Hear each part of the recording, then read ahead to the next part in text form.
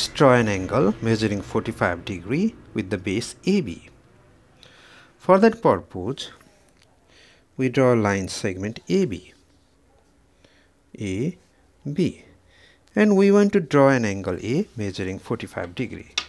From point A, we draw an arc.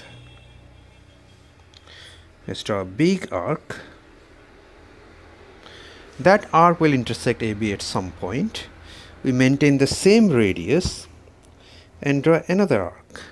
And once again, maintain the same radius, draw another arc, and then another, and then another.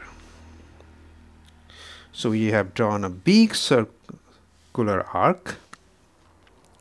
After that, one, two, three, four. In total, we have drawn five arcs.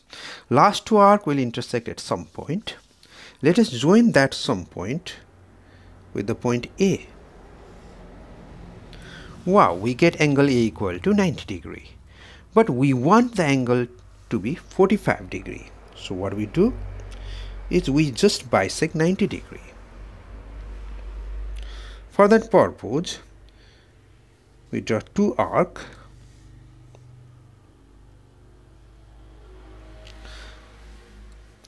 from the intersection point of the big circular arc with the 90 degree we draw two arcs. those intersect at some point.